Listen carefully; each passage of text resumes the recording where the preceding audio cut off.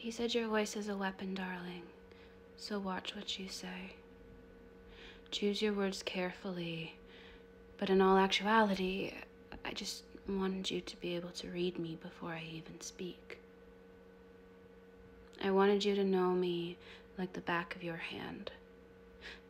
So honesty is where I laid the groundwork, hoping that you would follow the footwork and enjoy our little dance.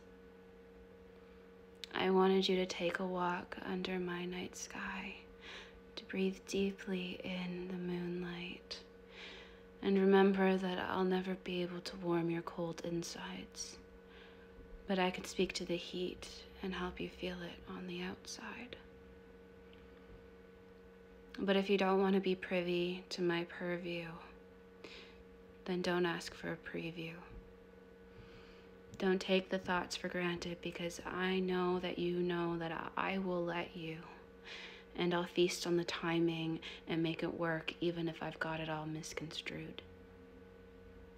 Until I'm left convincing myself that one day I will be worth it and that I will be all right, hopefully, come the morning light. And that I never needed you. Not the way that I do tonight.